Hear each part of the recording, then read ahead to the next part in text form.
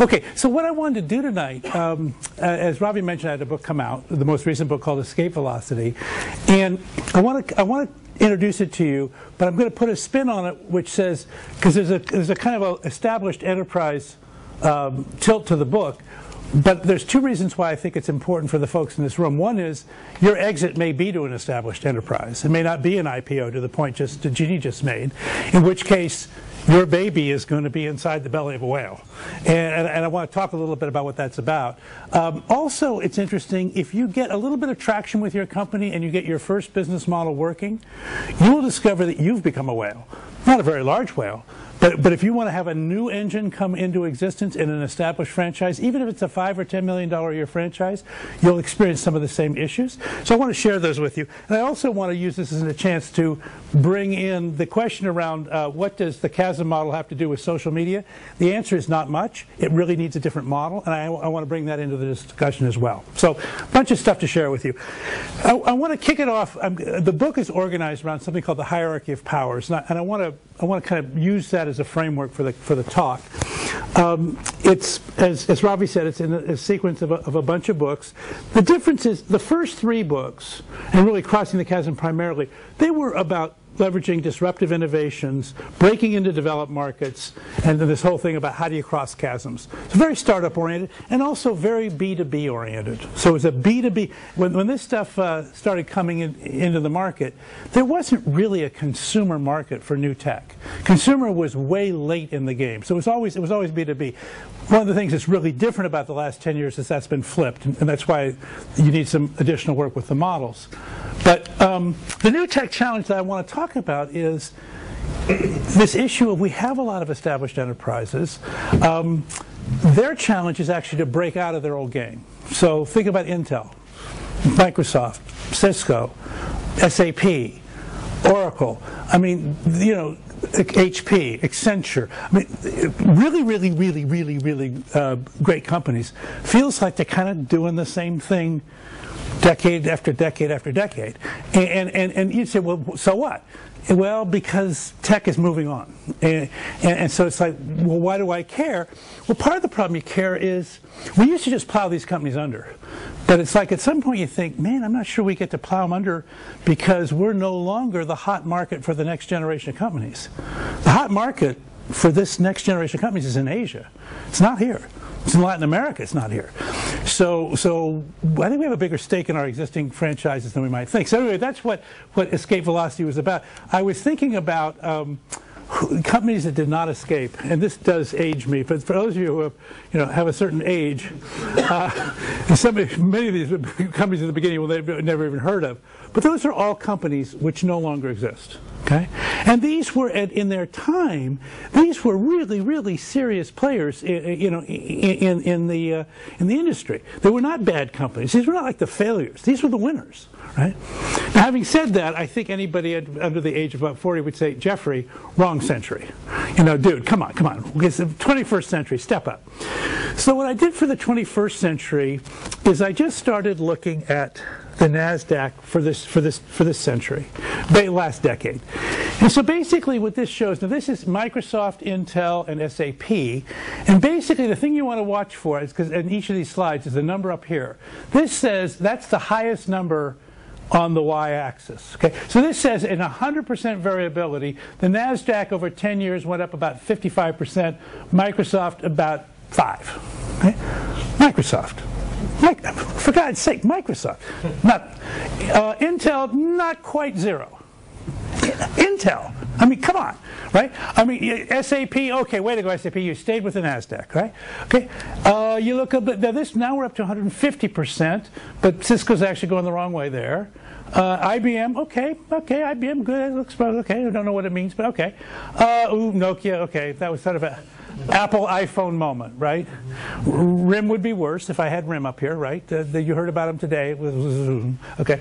Uh, Adobe mm, looks like they were getting kind of an escape. Well, maybe not. Back, back. Okay, kind of back to there. Again, IBM, Cisco, Nokia, and Adobe. Not bad company to be in, right? This is HP. These are the Mark Hurd moments. Boom. Okay. No, so we've had some recent moments. Uh, Oracle. This is a genuine. This is a genuine change. Oracle has fundamentally changed its value. And so that strategy of acquiring other companies and bringing them together and consolidating the industry, the market has said, you know what, that's, that's a real deal. Okay? Uh, EMC, this I think is probably VMware kind of stuff. I'm not sure EMC itself has changed very much. NetApp, nice spike here. We can't quite tell if we're getting escape or if that was just kind of like a, a you know moment where kind of the world was really great. Uh, these are now 400%. These are much bigger deals. So Google, okay, boom, but probably still playing its first hand, right? Just it's like okay, that was its that's its big play. Uh, eBay, uh, oops, oops, oops, election period for Meg. Uh, but you know, I think you got to give I think you got to give John Donahoe a bunch of credit here, right? That looks like real progress because this is now 400%, right? So that's that's real progress. Uh, Citrix. Huh? Look at check this out. Huh? Huh? Huh? Yeah. I mean, the world believes that Citrix is changing the world. I mean, I, mean, I think I think that you know, they're, they're buying the act. They're, you know, this whole thing around the virtualization of the desktop and, and kind of where that might lead in the future. I think it's real. Autodesk, you got to give Carl Bass and his team credit. They really did uh, create a bunch of separation. Again, there's some cloud stuff in, in, the back end of this as well. Intuit, I think the world thinks they're going to get this SaaS model right for, for small business. Yahoo, the thing is ironic about Yahoo is it's done better than Intel. What? But but but but it just it had this heck of a heck of a a, a, spike there, but it's it's kind of just back to, to, to kind of where it was. And then there are the two kind of stories of the valley. Well, one is actually from the northwest, and this is now greater than a thousand percent. So this is Amazon going to thirteen hundred percent, and this is largely on the back of AWS, Amazon's Web Services. Okay, and then this company you may have heard of, Apple who basically 5,000%. And you think, what in God's name happened? And what happened here was Apple added three wholly new earnings engines in one decade. So they had the Mac, which was becoming an unearnings engine. They added the iPod and the music industry. Then they added the iPhone, and they completely revolutionized the, the mobile device world and, and the App Store and the whole economy around that. So two ecosystems built on the back of two very compelling devices. And now we have the iPad, which is a fourth, a fourth uh, thing, and, and the fastest growing consumer product ever. So, oh, excuse me. So if you look at that, the, the amazing thing there is four times, three times they created escape velocity from their own from their own gravitational field. Because what's hard to do is to turn is to somehow overcome the inertial resistance of whatever business you're currently in to bring on these things. And so, so, so you look at that and you think, okay, so what's going on? Well, the conventional wisdom that stock people always say is, well, Apple and Amazon outperformed their peers. That's just that's just not that does not make sense to me in English because I would say that Microsoft and Intel and Cisco know more about performance in the classic meaning of performance than Apple does. Okay?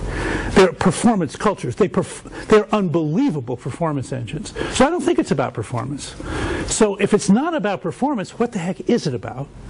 And I think it's about power. What I think, what I think the, the investment community is doing is they're saying, look, Apple's prospects for future earnings are wildly different than they were eight years ago. Microsoft's are not. Microsoft has enormous power, but it's kind of the same power it had 10 years ago. Same thing with Intel. Lots of power. In fact, with Intel, I think the reason it's kind of going down, it's challenged a bit, is people are wondering, man, in a world of mobile, I'm not so sure you have as much power as you used to have. You might actually be losing power, even though you have this unbelievable franchise. And so, what the investment community is saying, although I'm not sure people are listening to, is investors care about future returns, which means they have to care about your present power. Now, the fact that you have an established franchise is powerful, but that's already built into the stock price. So, the question now is, how would you change the stock price of a big company? And I think it's by adding a new earnings engine a new a net new earnings engine that could be at scale. I mean, like could be 10 to 20 to 30 percent of total revenues. Big, big. So Xbox isn't quite big enough yet for Microsoft, and it's not clear it's going to be that good of an earnings engine. But it was a bet on one for sure. Um, Cisco got into unified communications, but that was more at the beginning of the, of the decade. I think that's built into their stock price. You know, Oracle I do think adding all those extra app companies is a new earnings engine. So they have the database, which they've always had. Now they have the apps. They never really had apps before. So you say, okay, I see what they're doing.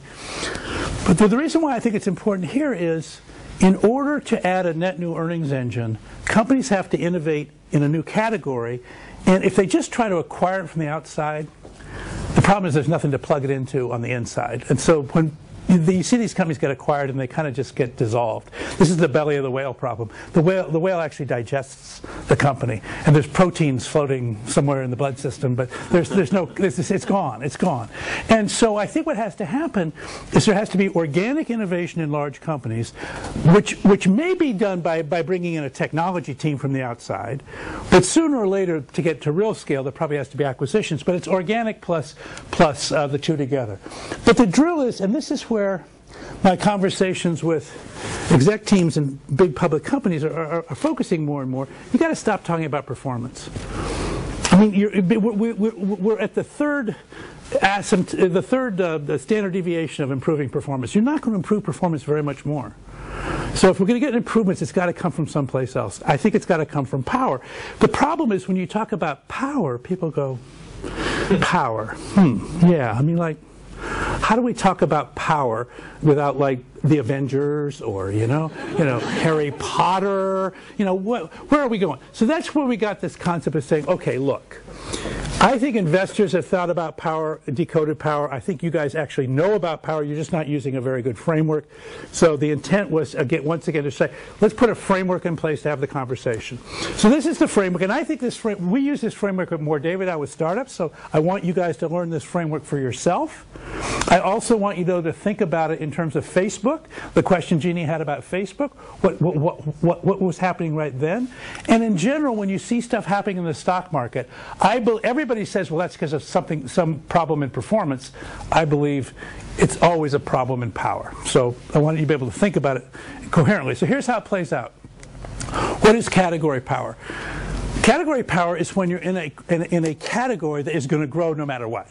This thing is taken off. And if you're in the category, your company is going to grow. I mean, unless you completely screw it up, okay? Which some people are gifted at doing, but but you know, uh, but in general, and conversely, if you're in a category that's sinking, I don't care how good a job you do, man, I mean, it's just, it's, I mean, Kodak, right? I mean, it's like really hard. Nathan. Why do you call it secular? Oh, so yeah, good point. Thanks. So, yeah, yeah, yeah, yeah. Yeah, it's like it's like you know perhaps orthodox or or or. or so secular growth is is it's, it's a uh, financial analyst term. It means one time only, As, and and its opposite is cyclical. So most categories in, in, their mature state are, have cyclical growth. They go up and down. Secular growth is no, no, no. We're going from zero to 100, and we're not. And once we get to 100, then we'll go cyclical. But it, it's a big deal. And venture capital is all about investing in that first burst of secular growth. That's how venture creates its returns. Okay, and it's from the category. Now, once you're in the category, the question is how good a position does your company have in the category? And this is where we get phrases like the gorilla or a chimp or a monkey. I mean, you know, kind of. And by the way, all three companies can have success, but they play very different strategies. Uh, but the key idea from the gorilla's point of view is a partner would go out of their way to send the gorilla business. So if you're a gorilla, your cost of sales is lower than your competitors. You're, you're, you're, you you get brought into deals. You get to negotiate from a position of strength. It's a sweet deal, right? Uh, uh, going going forward. If you're not a gorilla, then you have to figure out some way to get competitive advantage for your company more locally. And, and classically, the way you do that is you go into a market segment that's probably too small for the gorilla to fight for and too complicated. And that segment's kind of up for grabs because they're going well. I guess I could go with the gorilla because they're sort of the safe buy, but the gorilla doesn't really do what I need done. I would really love to have somebody come and do what I really need done, but man, I mean, it's it's hard work. So so the drill there is if you can if you can build a loyal a, a, a commitment around a, a very specialized commitment to that segment, the segment will commit to you and will defend you against the gorilla. I mean, the fact that Mike, the Apple was around to invent the iPod and, and, and the iPhone and the iPad was because of the Mac. And the fact that the Mac was around with 2% PC share going to 1%. I mean, basically, completely unviable for a privately owned operating system was because there were segments that said, you will take my Macintosh from my cold, dead fingers, right? And, and so, so there was a loyalty there that, that kept them in the game, which was amazing. This power allows any company of any size to create a world in which your customers will defend you. Okay? If you can get enough of the customers in a real segment uh, to be on your side. So, so I'm in the good category. How, how, powerful am I in the category? If I'm not powerful in the category as a whole, how powerful am I in the segment that I'm most interested in serving? And then we get down to offer power, which is just how cool is your product? How, you know, what are its properties? How competitive is it against the other products out there that claim to be able to do the same stuff? And this idea of creating unmatchable offers, big deal, as opposed to good enough offers, uh, which is most product development in large companies is all about good enough, and most product development startups is about unmatchable. If it's not unmatchable, you're probably wasting your time in a startup. So one of the things you got to do in a startup, it's interesting. In order to minimize your risk, you have to take massive product risk because you're basically like a hermit crab with no shell right? So you're like running like hell across across the bottom of the ocean. You're trying to find a shell really fast, but you better have something really, really good uh, to, to uh, keep you uh, in, in, the game, as it were. And then execution power. Execution really is performance. So you say, wait a minute, Jeff. I thought that was the thing that we're not going to worry about. But this is actually performance power, execution power. And the power in execution has to do with a particular case, at least the power I'm interested in, is what happens with respect to a strategic initiative and the tipping point. And I'm going to talk more about this in a minute. But this idea of getting to a tipping point is something that startups intuitively understand, venture intuitively understands, and established organizations intuitively screw up. Right? And all their systems actually are designed to incent them to screw it up. And all their filters that they manage performance by say, man, you're, you're, screwing up. If, imagine, for example, you're a bicyclist and you start in a race and you're kind of bicycling on the level and you're going pretty damn fast. And people are going, you're, you're a good bicyclist, right? And then you, you start a strategic initiative, which means you're starting to go uphill. Because whenever you do anything strategic, the world's kind of going, Okay, all right, but but they're beginning to get a little queasy, so they're not quite supporting you as much. Which and you experience that as every it's, a little harder to get stuff done, a little harder to hire people, a little harder to get funding, a little harder to do stuff. As you're going up, up, up, up, it gets harder and harder. Now you're now you're pedaling pretty goddamn slowly. If I'm measuring you on miles per hour, I'm saying Man, what happened to your bicycling skills, dude? You, are not a very good bicyclist, are you? You probably should like get off the bike, right? And so the problem is, if you, but if I if they let me get to here, I can bicycle like the with the best of them. Right? I'm now going downhill at 45 miles an hour, and I'm not even holding on to the handlebars, right?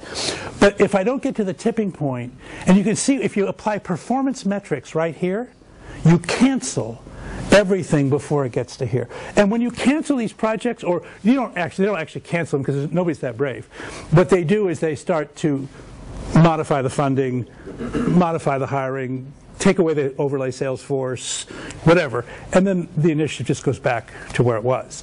And, so, and that's the, that's the great the great depression of working in established enterprises is to watch the enterprise just time after time after time get almost to the tipping point and then fall back. And you just think, God, Dilbert was right, you know.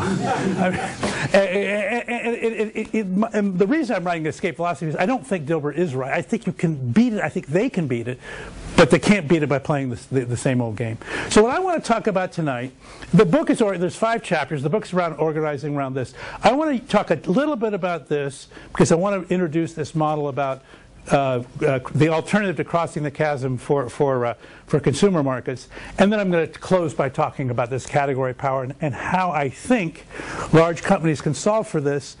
Uh, whether you are going to be the whale or whether you're the thing inside the belly of the whale, in either case, I think I think it will be of interest to you. And then we'll throw it open for grabs, and we'll just talk about whatever we want.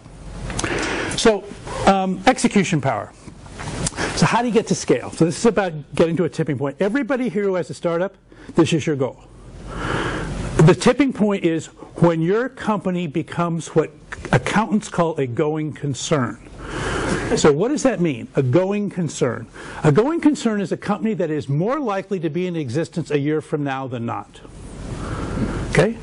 Today, your company is less likely to be in business a year from now than not, right?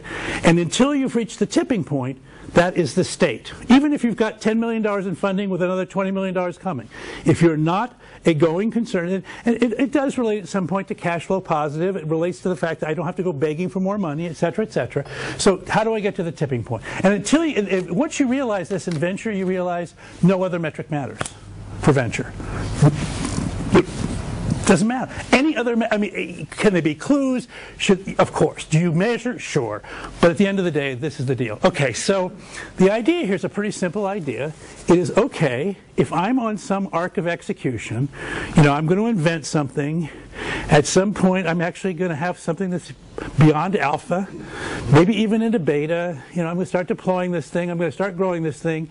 And, if this thing is really successful, and it gets really deployed, some point somebody's going to worry about optimizing it. Probably not me. You know, I, am I'm the entrepreneur. I'm, I'm moving on to something else. But so there's these two arcs about scalability and, and profitability. And in the middle of this thing is, is, a tipping point. And this is the tipping point that we care about, which is you, everybody in this room is somewhere, actually you're probably somewhere, you might even be down here, but, but, but you know, we're, we're somewhere in here and we're, say, we're saying, okay, I would love to get to a point where the world is now pulling me forward. The difference between being here and there is here, the world is still pushing back. And here, the world is pulling you forward. And it is a miraculous change when it happens to you. Uh, if you've been in a company that's ever gotten some success and some momentum, the quarter before man, I mean, nobody returned your call. You're, you're pushing everything. You're trying to figure out some way to make it work. And the quarter after, it's like, oh my God, we're on allocation. You know, I can't get enough of this stuff. I, I can't, I can't go forward. It happens over and over and again. And I want to talk about the chasm model and this other model in relation to a tipping point. But why tipping points? Pretty straightforward. This is the technology adoption life cycle. People do what other people what they see other people doing, particularly pragmatists. It leads to two phenomena, which are the two first books. The chasm, which is, I'm not going to sit in the front row if you're not sitting in the front row. I'm going to be, I'm be back by the pool table, right? When I used to teach freshman English, I mean, my God, you get anybody in the first three rows was like an amazing accomplishment. I'm not going to the front. Okay, that's the chasm, right? The tornado is when everybody's doing it, and now all of a sudden you think, I'm going to get left out if I don't do it. So we sometimes used to call it the junior high dance problem, you know, with boys on one side of the gym and girls on the other side of the gym, that kind of problem. So pre, pre, and then at some moment, and it's a it's, it's absolutely mysterious as to how it happens, but it's like boom, it goes from chasm to tornado. So pre-tipping point, no progress is sustainable. This is the problem of you're not a going concern. As soon as you withdraw the stimulus, the so you can buy business for, you know, you can try to stimulate, do stimulus. This is a little bit like the federal government in our economy. You can try stimulus, but when you withdraw the stimulus, it goes back to the old state. Uh, Post tipping point, however, there's a change in state. So it's actually another metaphor is state change. So think of state change as a metaphor for this thing that's happening in a market. So what you're trying to do as an entrepreneur is around a disruptive innovation. You're trying to bring the market to a, to, from its present state of resisting the new paradigm to some future state where it embraces it. Once it's embraced the new par paradigm, it will not, unless you completely barf all over everything, it will not, it will not go back to the prior state. But it, just before that, its tendency, even when it's almost there, is to go back, is to go back to the, to the, to the prior state. So this is where this, this is the chasm model that, that you know, that, that described this for B2B. So it said, look, if you introduce a disruptive innovation to any community, Five, the community will self-segregate. By just you don't have to. It'll do it by itself. The innovators will distinguish themselves from the early adopters, who will distinguish themselves from the early majority. We call them the pragmatists. Then the conservatives, and finally the laggards. And each one of those represents a different strategy for dealing with disruption. So the innovators say, I, I, I think it's really cool. I'd like to see what it's about. The laggards think, I hate this stuff. It's an instrument of the devil, right? And these people in the middle are not so sure. The visionaries, though, believe believe going early is better than waiting around. You're going to maybe get some significant competitive advantage. The pragmatists are going, I'd be a lot more happy if I saw a bunch of people do it before me, and the conservatives are going, well, I'm not going anytime soon, but eventually I guess I have to. So what we the big lesson we learned in the 90s was the first two groups secede and they create this thing we call the early market. And that is people who are predisposed to go early on in the first wave of innovation, either because they love the technology or they want the competitive advantage. Then we saw this thing called the chasm, and this is what we were missing in the early 90s. This is why we would open extra sales offices at about a time when, when we actually should have been being more careful. But, but what we didn't understand was the pragmatists are going, I'm not doing it until I see other people like me doing it, and that's not happening yet. Okay? Then the idea was if you could get some pragmatists to do it, probably it was initially in a niche market. We called these pragmatists in the bowling alley pragmatists in pain. And they, were, they had real problems, and they're going, Look, I hate new technology, but I hate the problem I have even worse. So if you can help me with this problem, I will embrace you. And if once they did embrace you, they embraced you wholeheartedly. The entire segment who had the problem would say, There is an answer, here's how it works everybody everybody should should do it and, it and, it takes off immediately. And then if it gets more general there's the tornado which is hey you know what? This isn't just for these people or those people or this other group. This is for everybody. We should we should all have one. So cell phones for a while were for VCs you know and, and, and for investment bankers. But today I mean honest to God they're for 5 billion people on the planet right? Uh, it's a complete horizontal thing. And then Main Street is okay it's now been it's now been accepted. So that was the model. And if you look at the that model, the metrics that we came out of were this. And the, if you're doing a B2B startup, you need to know this page cold. Okay, you just you cannot make mistakes on this page. So that says, if I have a disruptive innovation, my first goal in the early market is to get one or more flagship customers making a big bet commitment to me. That's not a crappy little customer. It's a big flagship customer. So tiny little customers are no, of no value prior to the chasm because they don't think of themselves as tiny. They think of themselves as your customer and they take as much time as a big customer, but they give you no return. And prior to the chasm, you need big, big sort of name type customers to put your technology story on the map.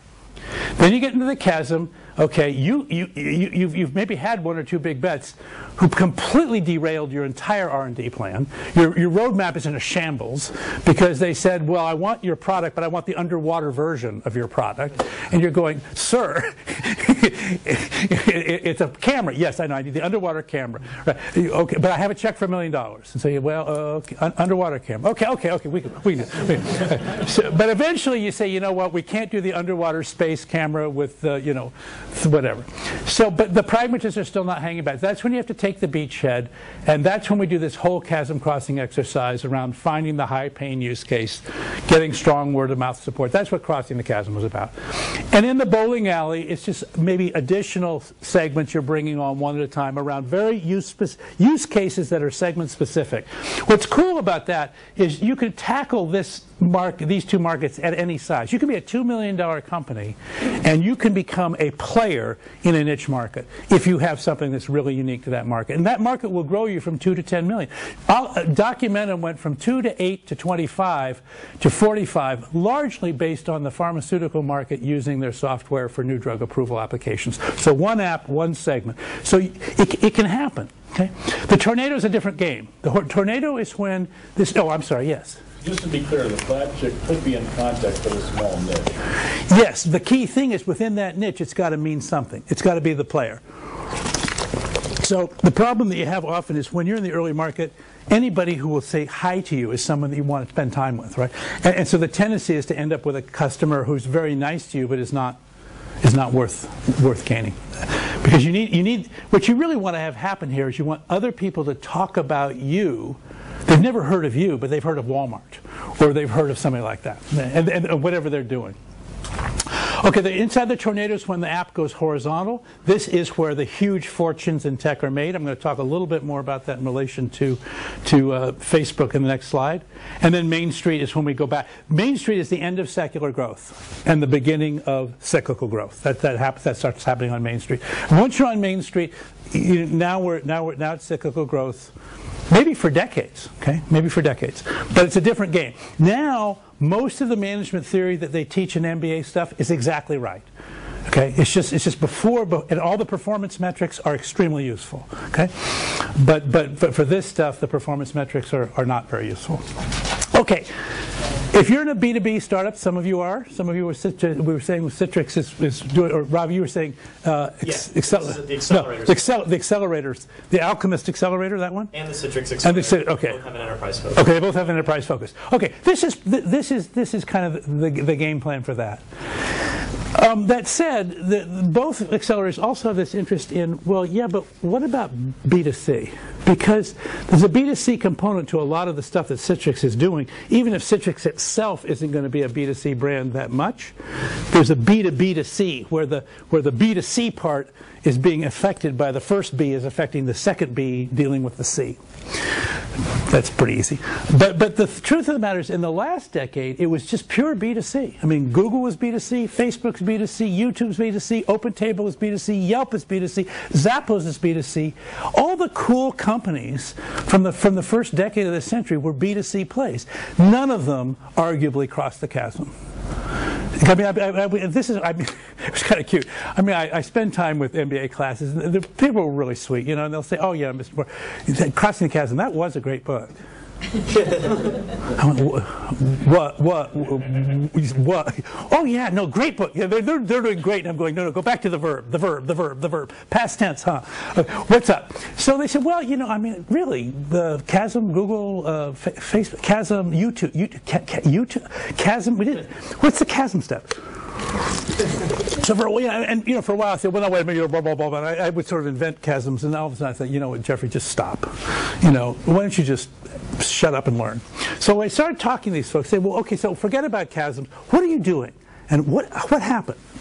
So talking to entrepreneurs, here's what they said. First of all, the entrepreneur in this model is a starter motor. And they're trying to get a bunch of gears spinning. And the first gear is these are largely done on the web. So these are largely web-based businesses with a very low friction. So acquisition was a traffic problem. Could I just get people to come to my? And at that time, it was my site. Now, I realize that the site itself has become an archaic concept, but in the past decade, it was not an archaic concept. So the, the site, okay, could I get traffic? If I could get traffic, the next question was, could I engage the traffic? Could I get them? Could I get them doing something? Could, could I you know, not just come, but come back and maybe stay for a while and do stuff. And then if I could engage them, could I monetize this? Okay, which a little bit better. You know, could, could, you know, was it was it going to be through subscription? Was it going to be through advertising? Was it going to be through virtual goods? I mean, there were all these experiments, right? And then could I enlist them? And what enlistment meant was, could I, if I could positively enlist them, that meant they would help me acquire my next customer, which means that the thing would start to go viral. And that was a really critical dynamic in this model. Because what you realize fairly quickly is, but, but with search engine uh, marketing and search engine optimization, you could not afford to acquire all your traffic on your own dollar. You just, it was too expensive. But could you get this? To, and if you could, then, then, then you know, we'll talk about the increasing returns. If, by the way, you couldn't, or worse, if they started going backwards, as like what happened with MySpace, now all of a sudden you get negative virality, and that's a very frightening thing, and it's, it, it's, it's ugly, and it happens. So the model we played with said, okay, I'm the entrepreneur. What am I trying to do? What I'm trying to do is I'm running experiments. So I'm going to run an acquisition experiment. And now, by the way, I'm doing these all at the same time. I mean, it's serial here. But basically, I'm running monetization, enlistment. If I could get the enlistment going, maybe I could get the acquisition going faster. Maybe, you know, get my engagement going a little bit. I'm trying to, like, get this thing spinning up, spinning up, spinning faster, faster, faster. faster. And it, what I'm trying to do is create a tornado. Okay? So the whole point about it was it was all about the tornado. There was no early market, there was no chasm, and there was no bowling alley. It was pure. Can I create a tornado virtually out of the spinning of the, spinning of, of these gears? And when we looked at it, and we you know, when you looked at Facebook and you looked at YouTube, you said, I don't know how they did it, but what, here's what we, but, but we but when you decomposed what happened, it decomposed well into those four things. And so we began to look at those four things, and the first thing we realized is that two of these gears are very measurable investors care a ton about them. Boards of directors, you know, want to want to say, well, how much traffic, how many hits, you know, how many uniques, blah blah blah, and then how much monetization are we getting out of it? And this is where all the attention was going. But the thing we realized is the other two gears we decided were the power gears. And in fact, engagement and enlistment were better predictors of the future of this, of this exercise than acquisition and monetization because you can juice these things in the short term. It's very hard to juice juice these two. So they're, they're very, they're very, uh, and, if I had to spend time with this model, and I do with Mohr Davidow companies, we spend a lot of time on how are you engaging, how, how, what are your metrics for engagement, you know, we'll, I'll show you some slides, the next slide on some metrics on this, and then uh, what, to what do, how, how, much, how much of the enlistment behavior are we getting here? And in the case of media, the monetization often is left off entirely until you've got an enormous media following. But for example, with e-commerce, you can't afford to do that. So an e-commerce model, you have to have monetization built in. So it depends on a little bit on the thing. But these were the four, these were the four metrics that we, we said. And we said, okay, acquisition, rate of gaining new users, engagement, length, depth, frequency of user engagement. And with the current big data stuff and the analytics, you can find out a whole lot about engagement. Monetization, pretty obvious. And then this issue around enlistment, can you get this viral thing going? And virality, by the way, turns out that you know this thing called net promoter score? It's a very interesting question. It's, it's, it's, i mean it, it, in essence it boils down to one question. You ask customers how likely are you to refer a friend of yours to this company? And 1 to 10 and the, the, the simple heuristic is if people answer that from uh, with a 10 or a 9 you have a net positive net promoter score, and they are going. You're, you're going to get experience virality. If they answer it seven to eight, it's going to come out about neutral. If it's six or below, it's a churn problem. Okay, they're going to actually negatively do it. So, so we, so we said, okay, that's fine. That's kind of interesting. And then we came up with this idea of what we called slowest gear theory. So the idea behind this was, prior to the tornado, at any given point in time, one of those gears is going slower than the other three. And it's slowing the entire tornado effect down. So the, the priority for this quarter should be speed up that gear. And the actions required then were okay, what's our slowest gear? Let's focus everyone on speeding it up maintain attention on the other three gears, repeat every quarter until the tornado happens or you run out of gas. That's sort of the formula. Now, interestingly, the last time I talked about this at an incubator, I got challenged on it. Somebody said, wouldn't it be better to just pick your fastest gear and just spin the crap out of it, you know, and sort of hope it creates some sort of vacuum that would suck the other three gears in? and you know, it's one of those things where you think, I don't know. Maybe.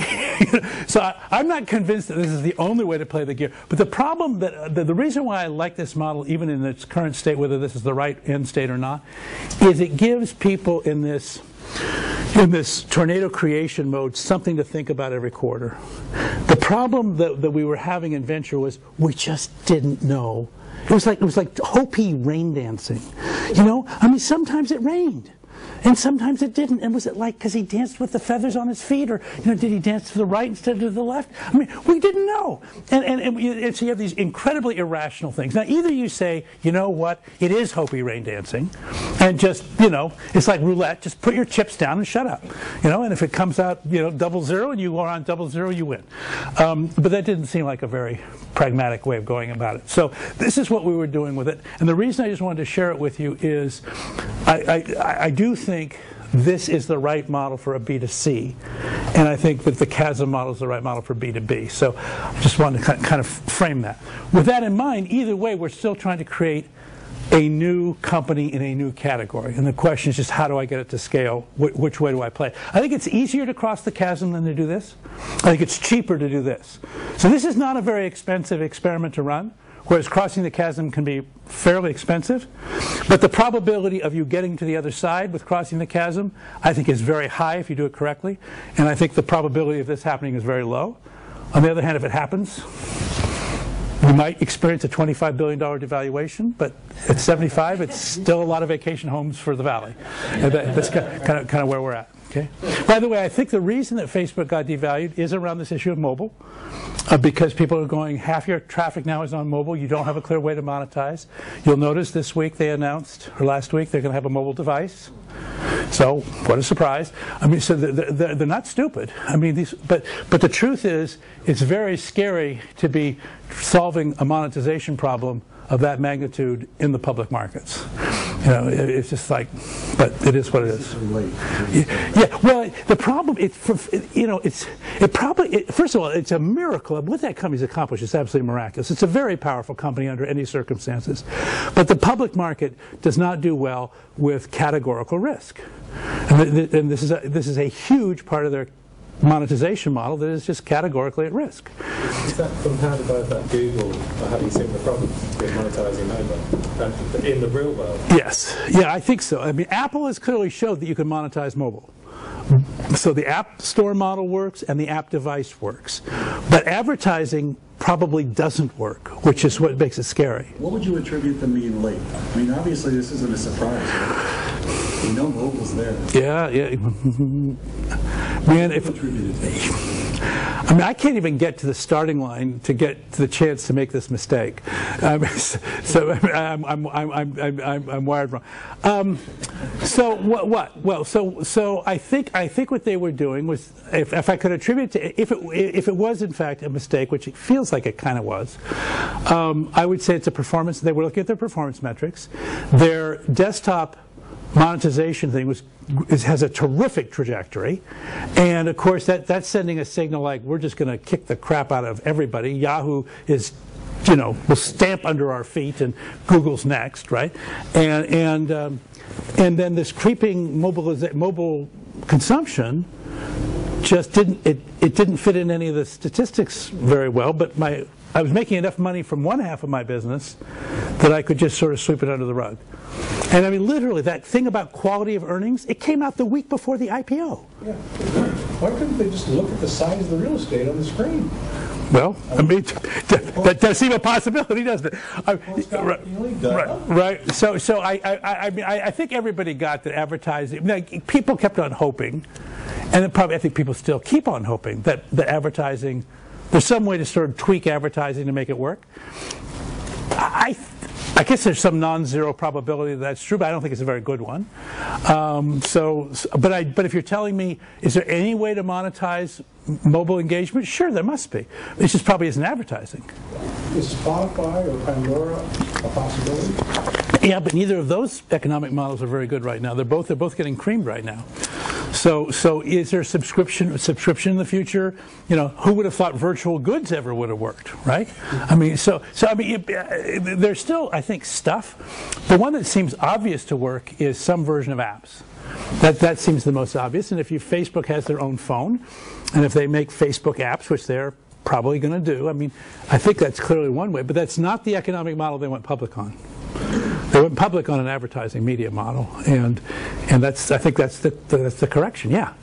What if for a merger on Facebook credits, like mobile, um, Minutes. mobile, mobile currency, so just paying Facebook credits using your mobile phone? I mean, you just said they had to figure out. Yeah, yeah. Could they put a PayPal? Could they put a PayPal, a, a Facebook PayPal kind of thing in there? Yeah. I mean, again, will do we think? Does every? How many people think that at some point your smartphone will be your wallet? Yeah, I, I, yeah. You could, we all say, of course. Now, in what decade? Well, I forgot. To, I looked into the future, but I forgot to look at the calendar. Okay, so, so I can't tell you which which which day. But it- yeah, so so yeah, I, I I think there. But the point about the public market and the valuation is, I'm sorry, I want the money now, and, and, and that's the part where I think they've kind of come a bit of a cropper. Okay, and then they did that weird thing at the last minute of adding 25 percent. I mean, it's like, oh please, just it's like Well, they whispered a few things. yeah, it, it don't grab from. It, it felt a little bit like the large, a large trough of truffles and a set of people, professional truffle finders around it. We, I won't call them pigs. They're more skilled than that. Truffle finding pigs are very skilled. Okay, all right, okay. I, let me just say, I, I want to close a little bit. Uh, actually, that, that was kind of fun, and maybe maybe we had a quit by my head, but but let me just close. I want to say a couple of things about this category power thing, because I want to put it in perspective, and also because we all do watch the public markets and begin to calibrate ourselves and our success from them. So this is the model that we've been talking about. This is the technology adoption life cycle. This is a time. This is the secular growth part of the curve. And then this is the cyclical growth part of the curve. And that thing can last for decades. And then there's this declining part. So this is what Sun was going through prior to being acquired by Oracle. And this is what Kodak went through. Okay, so, so, so and, and, and, by the way, if you're running Kodak, you're not going to do any better than Antonio, right? I mean, it's just at some point it's like bang. So in looking at this thing, um, you know, you acquire power here, you utilize it there, and you tr try to get out of it. That seems pretty straightforward. And you'd like to the, what what, what uh, large companies are interested in doing is also acquiring companies like yours potentially to help them rejuvenate. But notice they don't go back to this side of the chasm. あ! They want to rejuvenate on this side. They're willing to go back. Well, actually, the problem is they're not willing enough to go back to the bowling alley, but they should be. The, the way for a large company to rejuvenate is take next generation technology, probably let you guys develop it, get across the chasm, get a bowling pin going. That's still your job. Get a first, second bowling pin. Let somebody big acquire you and expose you to their sales force to take it through the tornado. That would be. That's kind of. That would be like the the most virtuous interaction between the startup community and the established community. That would be, that would be great, okay? Now, if you look at that from the point of view of, now want, I'm, now, I'm now going to change your job. You're now part of the executive team of a Fortune 500, of a Fortune 100 tech company. So you, are running, yeah, I'm sorry, yes. So the, the previous slide is more for B2B because I see in the yeah. B2C market, they, they don't wait for that for They don't wait for which? That late to acquire other companies. Well, it's, it's, so if you're like if you were like Condé Nast and you were trying to acquire a media property, again, I, I guess I mean maybe they acquire at some point in the tornado. Maybe because of the B2C model, you have to wait and acquire it actually in the tornado. See, but the problem we saw, I mean, even then, remember when Yahoo acquired Flickr? And man, they just all the air went out of the Flickr balloon like in a in a quarter. It's like it was gone. And, and, and so the, so there was some. Uh, you know, you're, we're raising a really important issue, which is which is can in fact can it, first of all can an old media company acquire a new media company? And apparently not. I mean, is there a good example of any success? I mean, Fox, Rupert acquires MySpace. Thank you for playing. Uh, you, you, okay, but yeah, but I would argue Google was a new media company itself. So it didn't. So it. So I think that was actually spinning. I don't know. I don't know. So I, I, I do know in B two B this works. I think in B two B it will work. But you're right. Maybe with B two C it's like I have to get acquired and I have to get acquired by a new media company. Unless I'm a failed startup, in which case I bluff an old media company into buying me for a stupid amount of money because they're dumber than I am. Okay? And I hope I don't go to hell. Okay? I mean, that, that, that would be uh, the other way to play it, I guess. Okay, let's see what happens. All right, so I, here's what, but I want to show you why this is more problematic. Because we sit here in this room and we think, you know what? We're really smarter than those guys. We're smarter than the guys at Microsoft. We're smarter than the guys at Cisco. We're smarter than the guys at Intel. Mm, no, you're not. No, we're not. We are not smarter than those guys. Now, they're making a, a, a mistake, but it's a, it's, a, it's a pervasive mistake about frameworks, so it's not that we are smarter than they are. Here's the problem they're trying to deal with. They're trying to have a portfolio which has high growth because that will show that they've got lots of power. At the same time, however, they have to create current earnings because that will show that they're making a lot of money. And so if you look at this portfolio, what it says is basically high growth things that are not yet material revenues tend to live out here. What they're waiting for is for it to become material. This is this is the promised land. This is when everybody's stock looks like I'm, we're all gifts to management. Then this is kind of where most of our business is going to live. And then this is like, oops, we better watch out for these guys. So when you look at large companies, this is what they look like. They've got a bunch of franchises, call them Windows, Office, you know, SharePoint, whatever. Call them the you know, x86 processor with no outliers or whatever. I mean, stuff like that. We've got a bunch of those. They've also got a ton of stuff going on here. Everybody's got labs. They got a bunch of stuff there. They got some old kind of decaying things. But the problem is, there's nothing here. The board of directors is going, why don't we have more business here? And the answer is, well, here, what's going on? Here's what's happening. New business comes, great candidate, mm, didn't quite get there. It's okay, we got another one. Don't worry about it. We, we, there's not one trick pony. Okay, this guy's going to make it. Mm, not so much. Okay, so, but this guy's going to really make it, okay? And, and, and you say, what, what is going, why, why can't these things get from here to here? I why did Xerox PARC have to spin out after 20 years and say, we can't even be part of Xerox? Because we made every invention for 20 years that Silicon Valley capitalized on, and Xerox got none of them. Okay? What was happening? So that what we began to realize is it's a return on investment problem inside a large enterprise. So the key idea for understanding if you work for a large enterprise, there are three horizons you need to understand about if you put money in, when do I get it back? Horizon one is I put in money this year, I get it back this year. I, I, hire more salespeople, I get more revenue. Okay, it's obvious that big companies do that very well. The third, the, the horizon three is the opposite. I put money in now. I'm kind of hoping in five years now we're going to be in a great business. Don't know. Sure as hell not going to make any money this year or probably next year. You know what? We always said big companies are bad at this. Not true. Big companies are fabulous at doing this. They all have great labs. They all invent cool stuff. That is not the problem.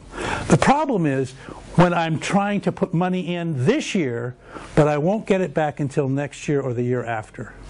And I need to actually use key resources that Horizon 1 wants in this time period. This is where it gets really stuck.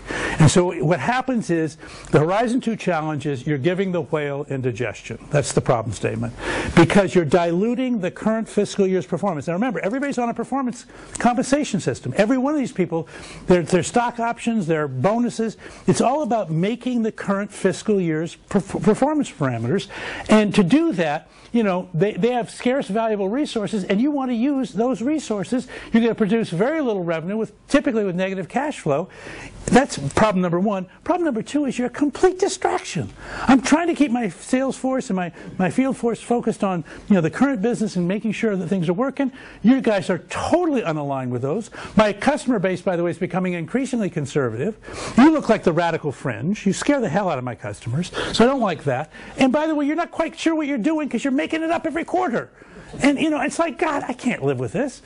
And, and, and by the way, you want my A players.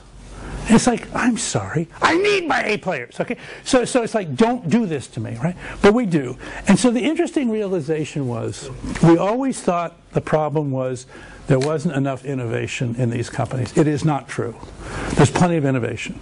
The problem is you can't get it to market. You can't get it to market because the performance contract says, I will not share with you the resources that you need to get to market. This is why venture beats big companies every time in this game. But what it means is we have we don't have an incubation funnel. We have an incubation hourglass. And we can we can invent as much crap as we want up here and do. And we can run as many businesses as we can get into down here, and we do. And we get nothing from here to here. That, that's the problem statement.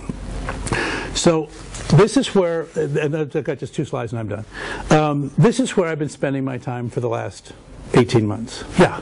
So what about like 3M or Amazon that arguably seem to have avoided it? So Amazon, well, so the, the, the, the cases you'd say is, I'm not sure 3M had that many disruptive innovations, so I'm not sure. This is this is for a disruptive. able to launch new product. Yeah, they are, but but it's interesting. If the new product is not disruptive to this, if if the new product kind of fits in with the old business, you can generate lots of new product, and the system will work fine. It'll treat it kind of like recycling it kind of within Horizon 1. When it's a genuine, like Post-it notes was a genuinely weird one. Uh, but by the way, the, part, oh, okay, all right, okay. Well, then maybe I need to study it more. Okay, I will. 3M. Uh, so, so good. I will give you. I'll give you the, state, st the statement though for Apple. Apple did it three times in a decade, which is like a black swan with purple tennis shoes and green eye shades. Okay, it's it's, it's unprecedented. And, and Amazon to, to the point. Your first name is Sean. Sean. So Sean's point is they did it once. Now I think the interesting thing, and, and Oracle arguably through a very different mechanism, the interesting thing about Apple, Oracle, and Amazon is three founder-led companies. And I think I think part of this is you're going to see in this next slide, which is kind of the five. The how do you, how do you do this? It really does help if you have the cred of a founder to just sort of say, you know what, kind of my way or the highway sort of thing. It's very hard for a hired CEO to do this because inevitably the promise the hired CEO made was, I'm going to improve shareholder value. And, and this is this will be, I've got. I'll quit with this slide. Um, the first thing is when you plan and budget these things, understand you're going to make a grab for scarce resources. So you cannot do it during your annual planning quarter because at that time everybody kind of sees the, the new performance metrics for next year and they immediately become and it's a zero sum battle for stuff. So if you're going to do this you have to do it the quarter before. Uh, it's it, typically most large companies do start their planning process in third quarter finish it in the fourth quarter. Then the first quarter they're launching the plan. So it's the second quarter is the only quarter you can actually resource these these uh, things and what you have to do is say look how much can we afford to spend on horizon 2 total and if the answer is not very much, then why are we in Horizon 3? Because if we're never going to get anything out of Horizon 3, why are we doing this, right? Corporate entertainment. Okay, so, so, so it's corporate entertainment, fine, but just make, just, just, you know, do it mostly in PowerPoint, right?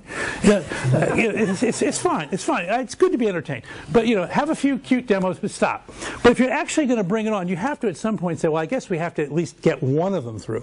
What most companies do, though, is, well, I'll get to it in another one. So the first thing, though, is if I'm going to do it, I've got to ring fence the resources the quarter before the knives come out to say, I need mine. And everybody's got to be, buy into this thing of, okay, we're going to fund this thing. But obviously, you can't fund very many of them, right?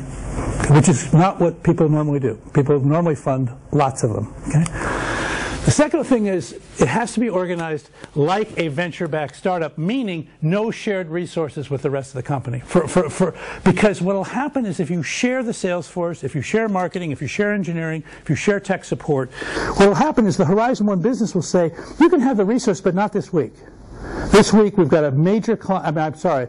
You know, this is this is our number. We're hanging by a thread here, guys. You can't have them.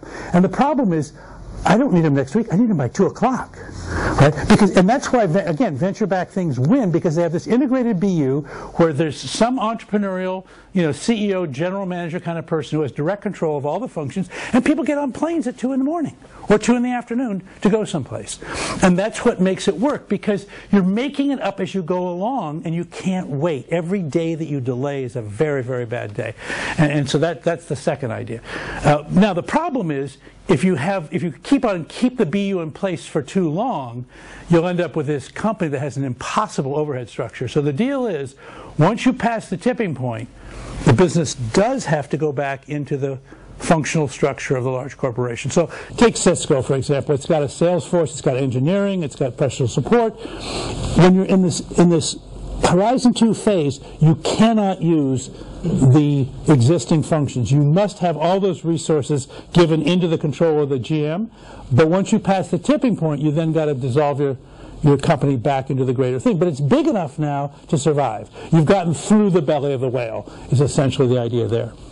The third and the third one is use tipping point metrics, not performance metrics. I talked to you about that. What all the operating ratios are wrong.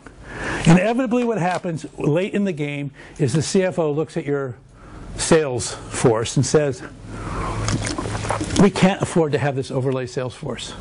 It's, I mean, look, I mean, by the way, you know, you're, you're growing from, from 200 million to 400 million dollars, but, but this is a 30 billion dollar company, so you're really not quite on the radar.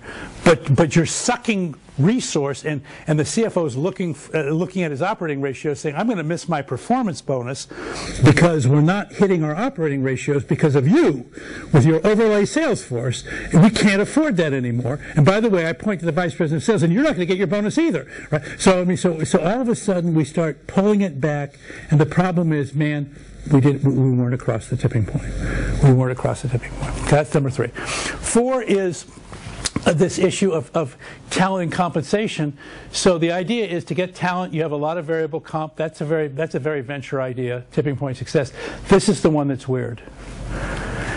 My belief is the only way you're going to get this thing across to material size is if every direct report to the CEO has half or more of their variable comp depending on the outcome of this one initiative. Period which sounds really weird. Like, well, wait a minute, this, this, this is in the Division 3. I'm the general manager of Division 2. We don't even make this product. We have a completely different customer base. What do you mean? And the answer is, no, I meant what I said. That initiative in Division 3, half of your comp for the next three years depends on it getting to the tipping point. That's not fair. Well, I, true, but but I, but it's, the, it's the deal. If you do that, the, the, the, people say, well, that's crazy. And then you say, well, just hang on, one question. If you really accepted the truth of that statement, do you think you could affect the outcome in that division? Well, no, I'm in another division. I know, but you don't share any customers with that division? You don't have any leads that they could use? You don't have any supplier relationships that might help? You don't have any key people that you might be able to throw into the game at a key moment? And all of a sudden you realize, you know what? If any, you could pick almost any initiative in any corporation and drive it to success if you had every single executive in that corporation saying, this is the win. And that's effectively what Jobs did at Apple. And he did them one at a time. That's the last thing. You do them, you do them one at a time. I don't care if you're IBM or if you're HP and you're a $120 billion corporation, you can afford to do one and only one at a time. You can have lots of them in Horizon 3 right in the queue, but my belief is you can only get one through the queue at a time. And, and, and, and, the game's got to be. Uh, uh, that's why I want to have this this compensation thing tied to this thing.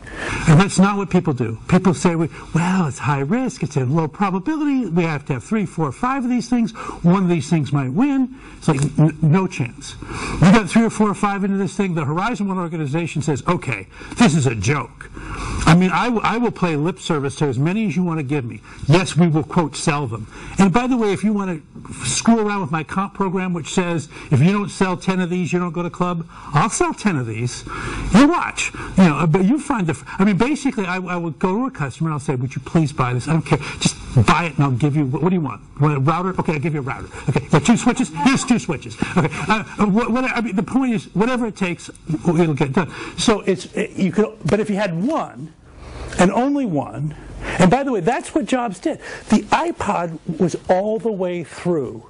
The music industry had been completely set on its ear before the iPhone was released. And the iPhone, he could have done it earlier. I mean, he had this thing going on with Motorola, what, three years before called ROKR? I mean, he, he could have, and then the iPad he had before the iPhone.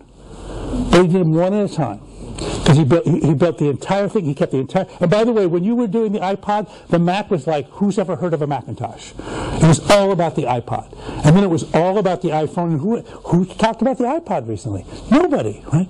And now it's all about the iPad. See, iPhone and iPad are kind of sharing the limelight right iPod, never heard of it. So the point is, we've got it takes that kind of focus uh, uh, to get through. So anyway, those were the those are. I think that's the yeah. That's the that's the last slide I want to do. Is there like, I'm, I'm sensing a contradiction. Maybe it's my lack of understanding. Well, no, it could be my lack of clarity or bullshit. On the one hand, you're saying the last point, one at a time, no matter how big you are. Yes. Okay? And on the other hand, uh, did I hear you say that also in, when you go to Horizon, 2, you have to have a lot of options? No, what you, if, the idea is you can have as many Horizon 3 candidates. Think of this as like an, the, the, the, metered on ramp onto the freeway.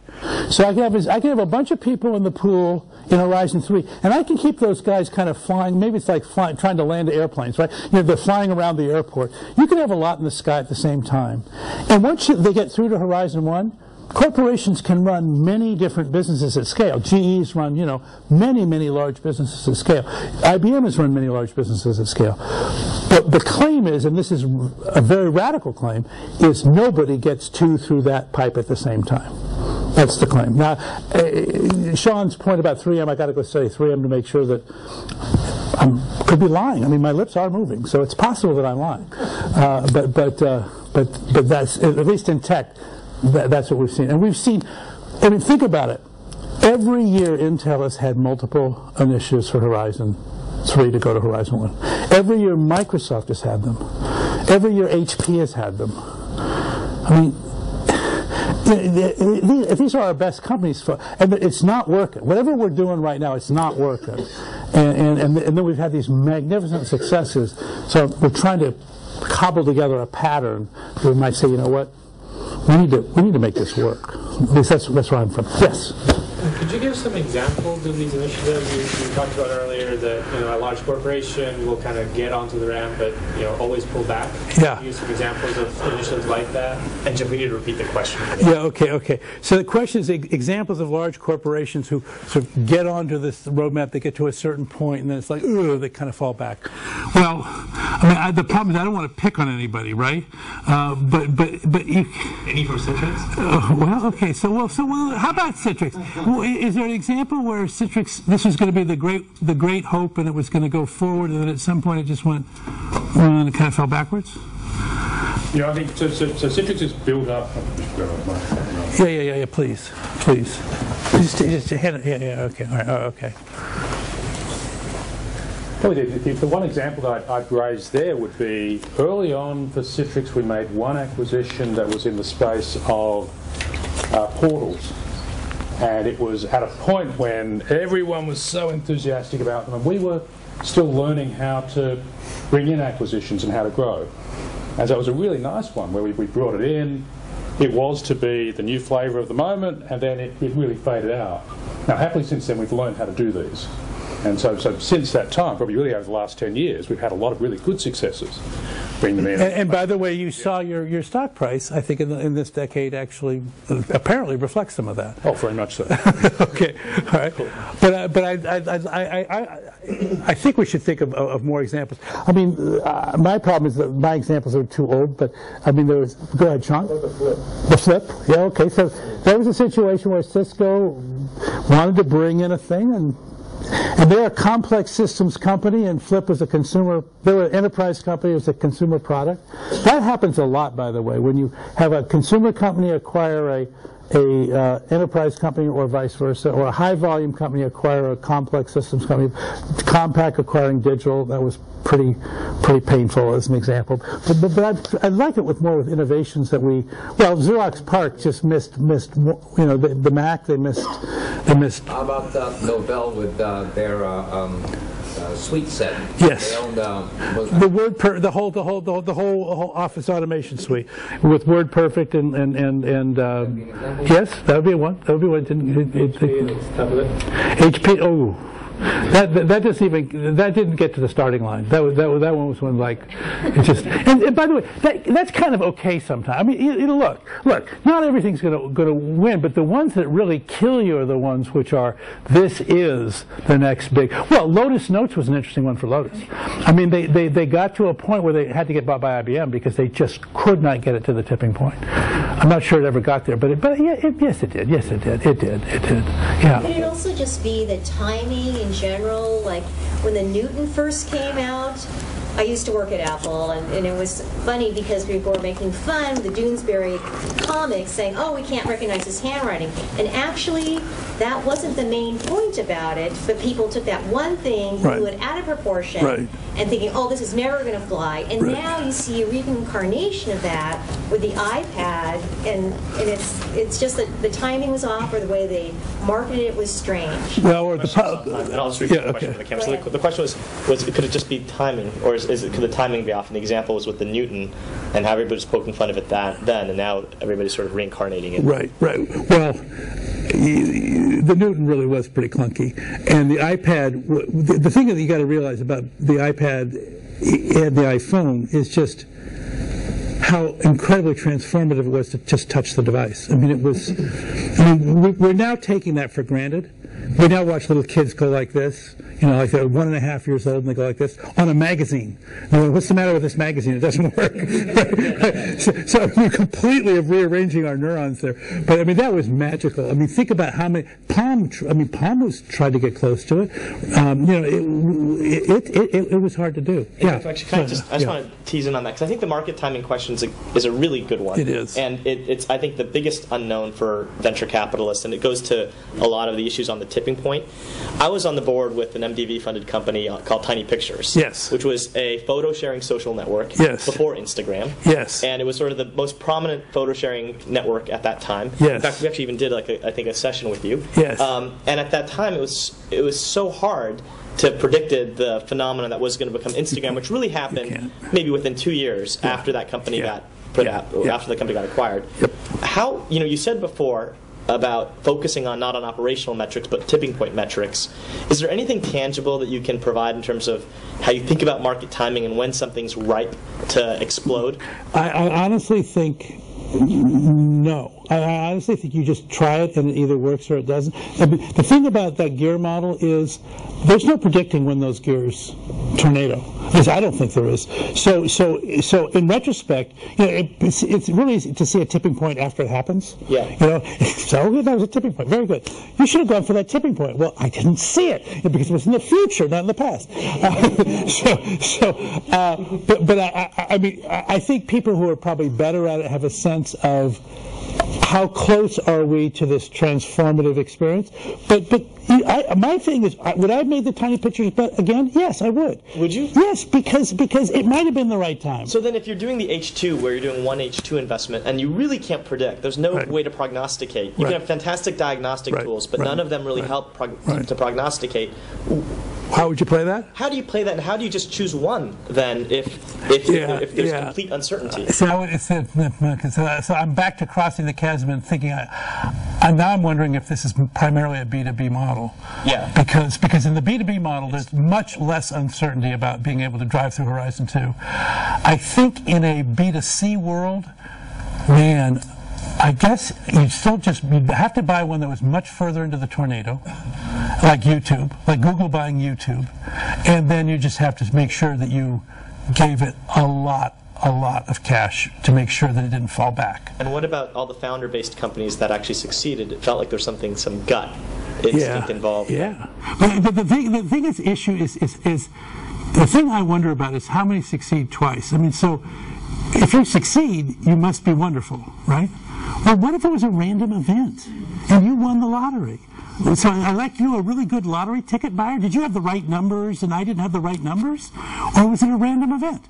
Um, I mean, I think that, I don't think it's random.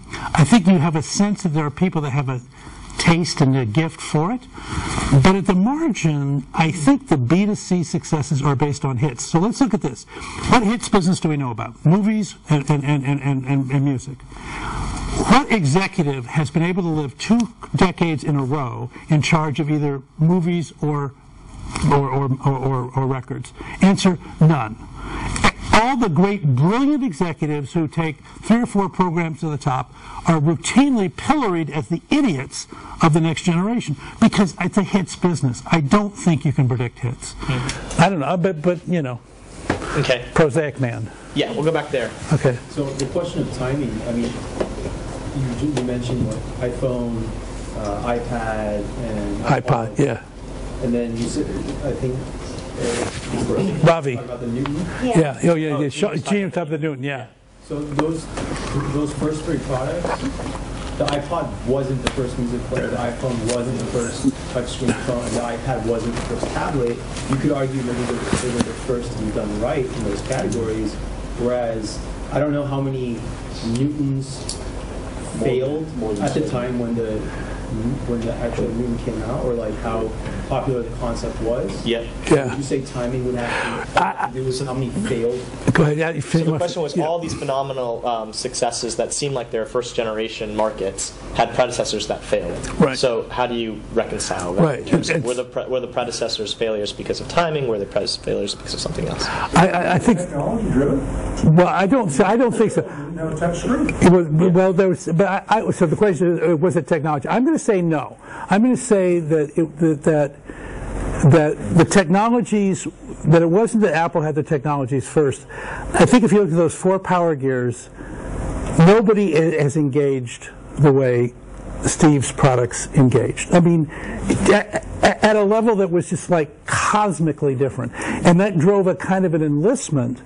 That I mean, people lining up in front of a store the night before. I mean, to get a white one. I mean, that's the only difference.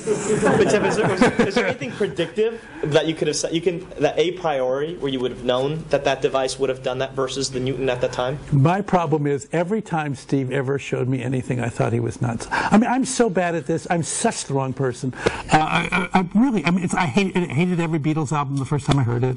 And, I mean, it was like, no. Now, eventually, I get my head around things, but I'm really the wrong guy. I'm, I, I really am. And so, so yeah, exactly. It'll be perfect. And it's score. It'll be, yeah, yeah, yes, that'll work. That'll work. Um, we're gonna go to Sujay and then we'll go there. So, uh, so when there's a disruptive innovation, it is better to uh, not be the kind of uh, complete uh, leader in terms of the concept, but to see the near failures and then line up the ducks properly. So the question is, for disruptive innovation, is it better to be the trailblazer, or does the trailblazer take arrows in their back, and is it better just to be the fast follower? Yeah, and, identify where the arrows went and Right, then right. do the iTunes before you do the. Right. Yeah. I, I think B2B is very different than B2C. In B2B, I think you want to be the trailblazer. I think the advantage is the first mover in B2B um, because because I think you can control your way across the chasm. Now, you can still get it stolen from you on the other side. Somebody can take can take it away from you before you get into the tornado, but I think it's still the best way. With B2C, I think what we're saying here See, to me, I just I, I'm still stuck on this metaphor that it's a hits business and there's, there's a degree of randomness to it, which there are obviously people that have better taste in music than others, people that are better picking good bands than others, and so I think that probably makes sense. But, but you still, but you, you think the Apple innovations were B2C?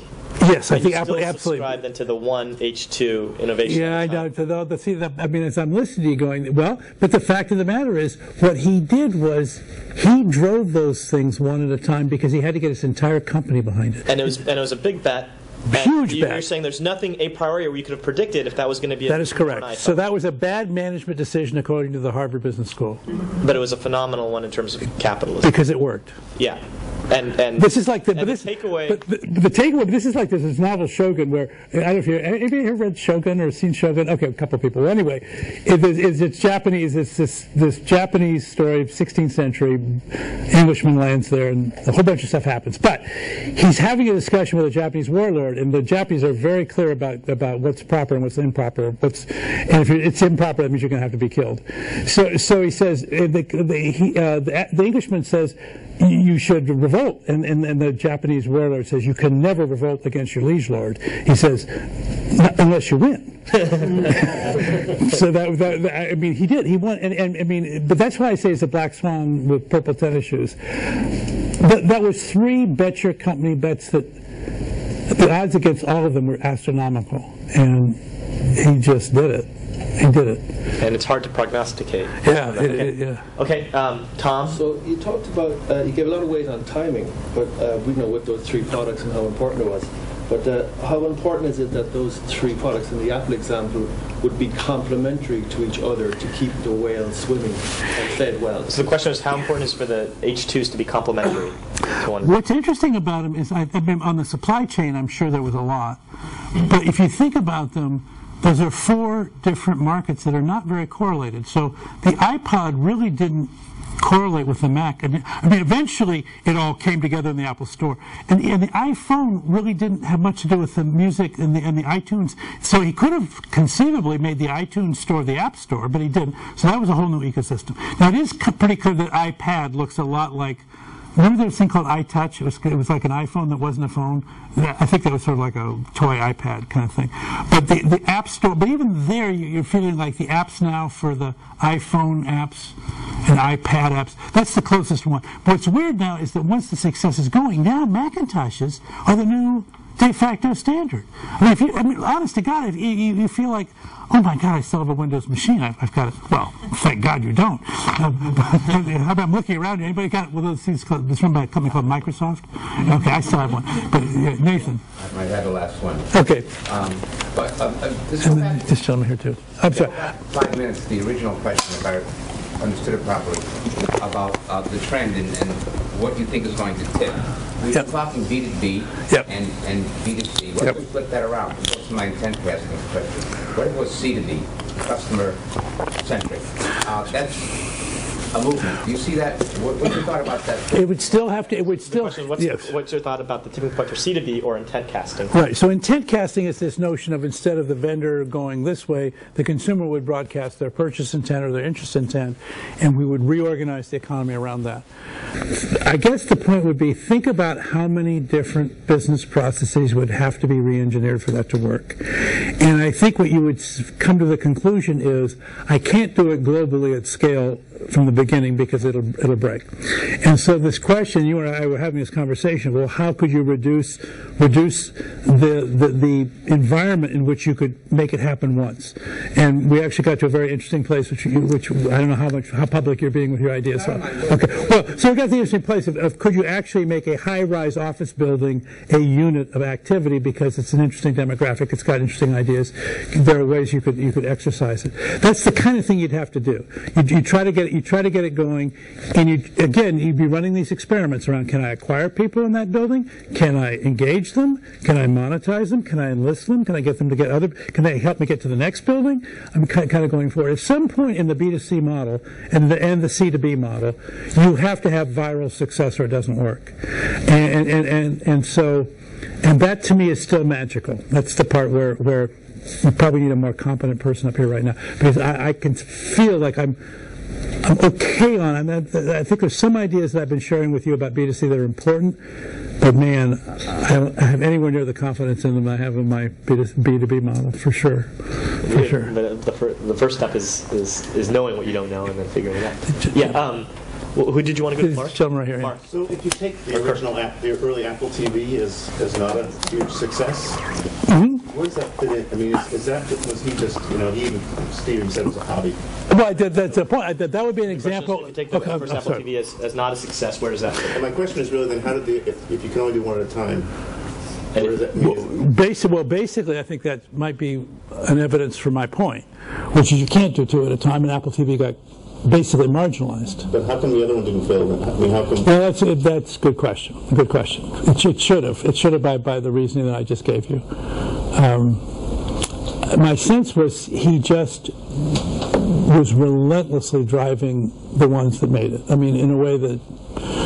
I mean, think about going after. Well, anyway, uh, that had had his complete attention.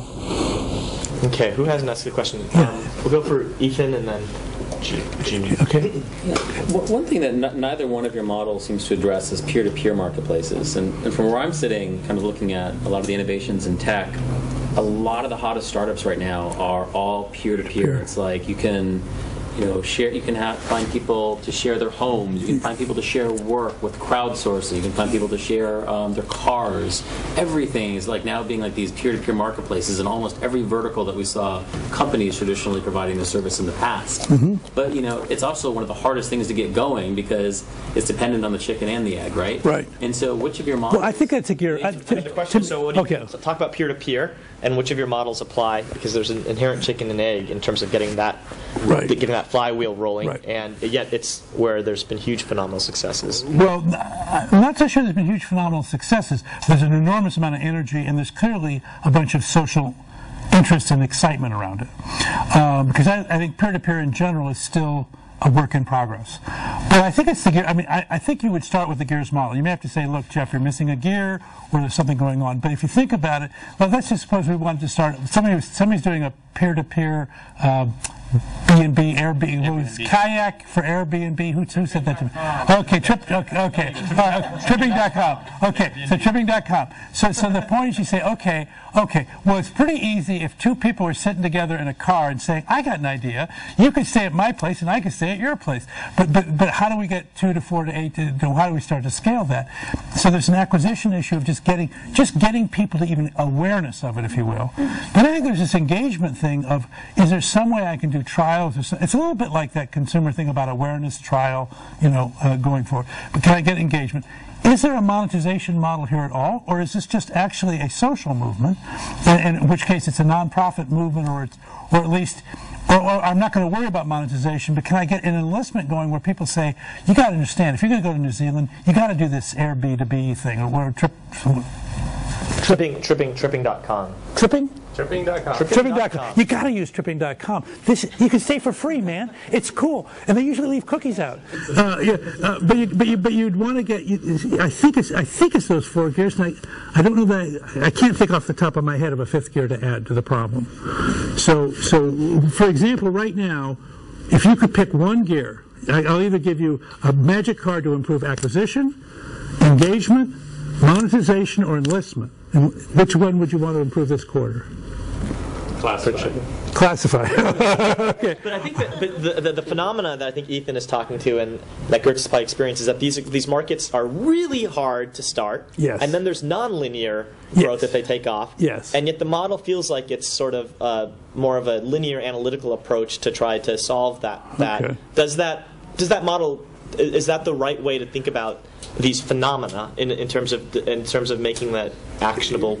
I do think it is non. I mean, my attempt of having the gears spin faster and faster and faster was a little bit to attempt to induce an image of nonlinearity because I don't think it's push tab A into slot B, get result C. I think B to B is more like that.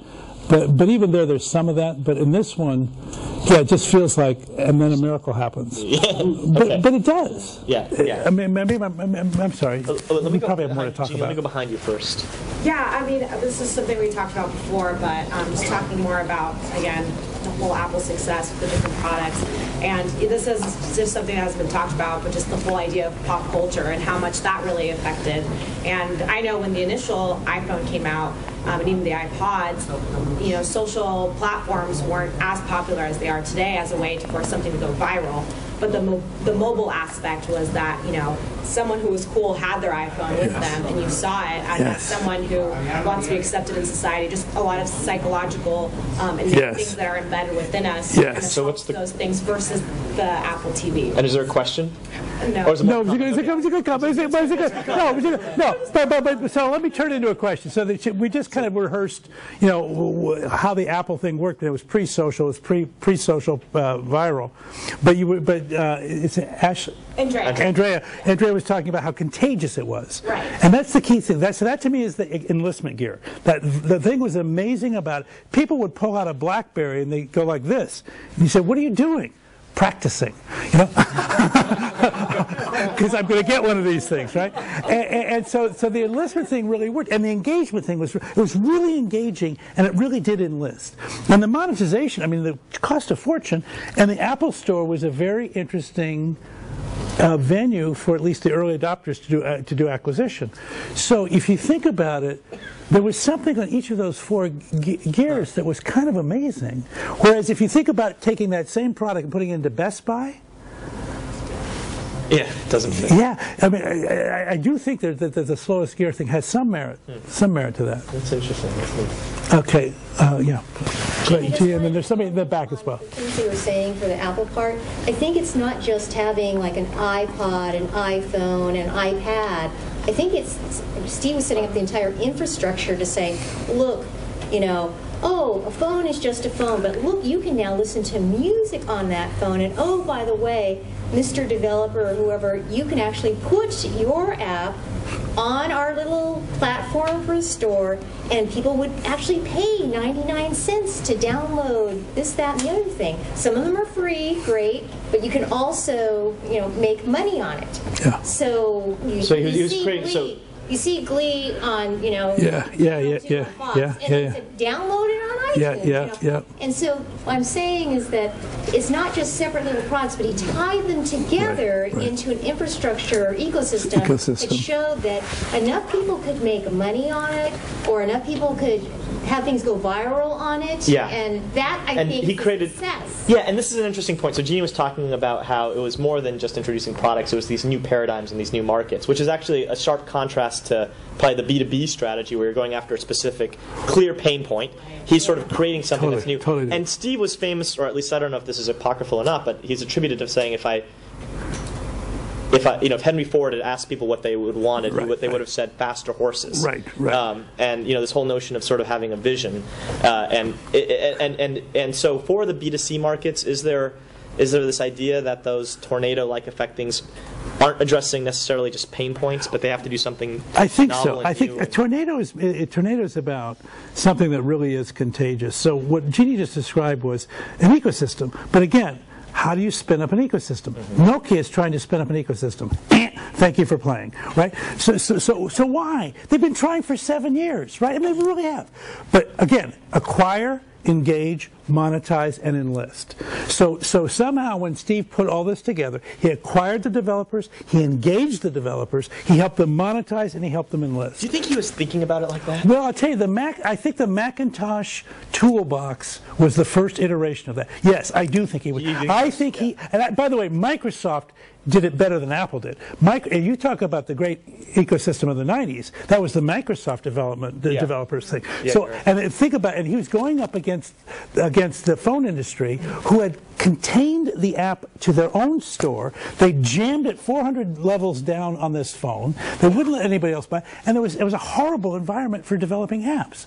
So uh, he took a PC industry thing and a telephony thing. He was the first guy to figure out that a, a mobile device is not a phone. I mean, I th- yeah, yeah, okay. We're out of time. We're, we're, I'm I'm 15 minutes over, so I want to take one last burning There, there was, there was a guy back here. So, that said- yeah, gentleman in the back. We'll go. We'll go to, to the back. You said for B2B, you want to be the trailblazer. Um, so would that be contrary to the whole long tail theory? I mean, would you ever apply like a long tail strategy, you know, if you're trying to do like in a B2B venture? So the question is, for the B2B, um, we said that you should be the trailblazers. Does that go contrary to the long tail strategy? Yeah, I would say I, w- I would not go after the long tail with a disruptive innovation. The disruptive innovation requires too much collaboration with other companies, and the customer's got to bring a ton to the table at the beginning of that. Of that, so I don't think it lends itself to working with the long tail at all. Um, uh, so no, yeah, yeah. It was, One last burner. Who's got a? Who was it? Oh no. Okay, we're done. We're burnt out. I didn't want to be the second question. Uh, Somebody. no, no, we- we- we're done. We're done. Listen, I will stick around. Thanks a lot. Thanks a lot. Yeah, yeah, yeah, that's great. That's great. That's great. Thank you so much. Yeah, my that was fantastic. That's good. That's good. Okay.